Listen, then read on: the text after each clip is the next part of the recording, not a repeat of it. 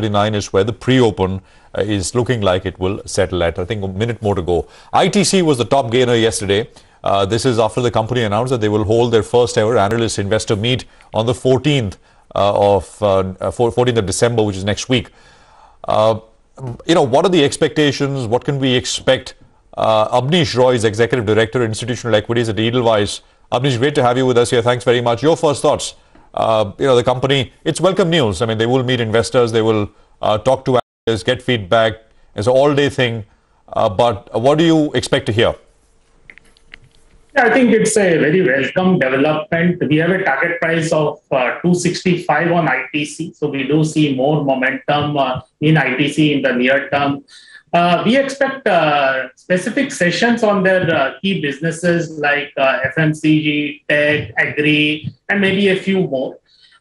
investors would look to understand in FMCG what is the company doing in terms of the recent acquisitions in the last three years. Uh, they recently invested in a D2C brand also.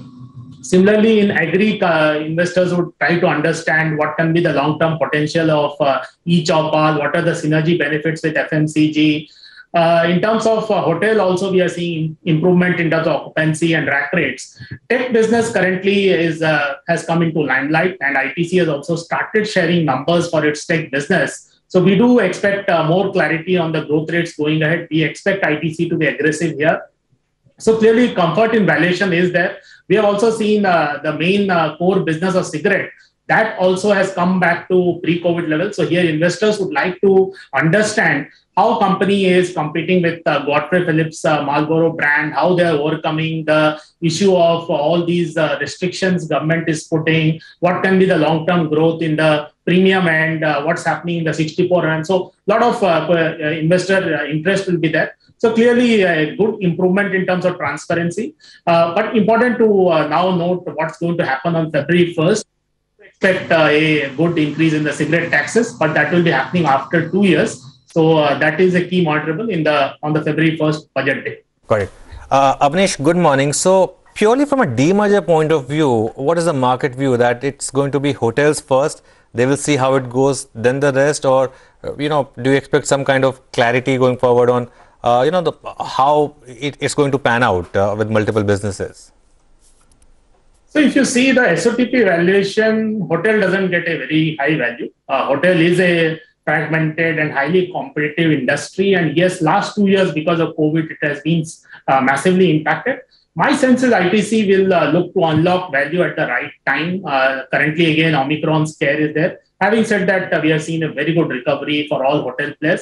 Yes, in hotel, uh, investors would like to get clarity on what can be the value unlock. last three, four years, ITC has been focusing on management contracts. So it's largely the low capex model, and that will continue. But it will always be good to get uh, value unlock here. I think the bigger picture uh, can emerge in the tech business. That's uh, a sector which has really massively re-rated. That's a much larger uh, business also. That will be very interesting. Uh, apart from that, the agri business and uh, in the long term, the most interesting value unlock can be the FMCG business that has also now become largely cash flow generating on its own. The margins are improved, the growth rates are decent, a lot of acquisitions have happened. But yes, you're right. Investors would like to get some more clarity on the value unlock in its different businesses because cigarette is still 85% of the profit, and that does have the ESG concern.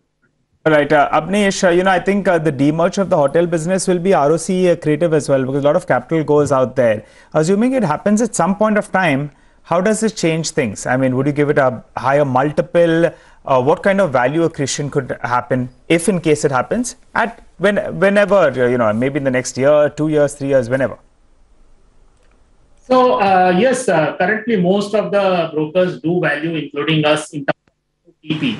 So it is not that we don't give separate values but what can happen is clearly there will be a lot of investors who are looking to say invest just in a hotel stock, just in a tech stock. Currently, they are not really able to play that via ITC. So there will be a lot of investor interest coming when that happens. We always see any company in which demerger, value unlock happens, there is a huge interest uh, coming in. Uh, but as I said, hotel business does not really change the picture it does give a intent to investors that yes now management has started working on this uh, Uh, yes, to give them credit, last one and a half years in the COVID, you cannot, cannot do any value unlock in the hotel business, which was massively impacted. But I think the investors will then start seeing that, yes, longer term, this company is looking to value unlock in its businesses. The most important ones will be the tech and FMCG, in my view. Uh, those are the larger businesses. Those are the high multiple businesses. Mm. Hotel is just an intent rather than it will change anything big in terms of the needle. Mm. It's more of an intent, I would say. Uh, but yes, uh, tech and FMCG are the big ones. Okay, Abneesh, uh, uh, now that you know we, we have you with us, uh, sorry, one out of syllabus question. Zee has started to make big moves. The, I think the the date for the the deadline for due diligence is is, is coming up. is the market now pricing in that it will be a binding deal soon? and what would be your view on the stock now? Yeah, very positive on the stock. In fact, we released a report just last night. Uh, we have one of the most aggressive target price on Zee. Yes, you're right. Uh, currently, market is factoring in most of the positives from a deal uh, happening. If you see the stock has doubled in the last six, seven months versus the most mid caps crashing 20, 30%. So you're right. But uh, there will be a lot of synergy benefit once the deal actually happens when approvals happen. There will be 6 to 10% revenue synergy cost uh, synergy benefit. Currently, most brokers give a negative value to OTT. If you see the kind of valuation digital businesses like Nykaa get, wherein they get 25 to 30 times also EV to sales, Zee's OTT business plus SonyLIV itself can be a very sizable business, and that itself will start getting good valuation because it will become like a must have for most subscribers. So I will say still a long headroom for the stock to do well. I will not rule out a much higher return from a two-year perspective, but uh, I think uh, in the near term, most of the deal happening, I think that is getting factored in the price. Okay, Abneesh, we'll let you go on that note. Thanks a lot for, for joining us. Uh, well, uh, that's uh, the word from Edelweiss on ITC and Zee. The pre-open has settled, by the way, 40 points lower on the Nifty and flat on the Bank Nifty. And the reason for that is that, you know, a couple of stocks like Tata Motors and Reliance. Now,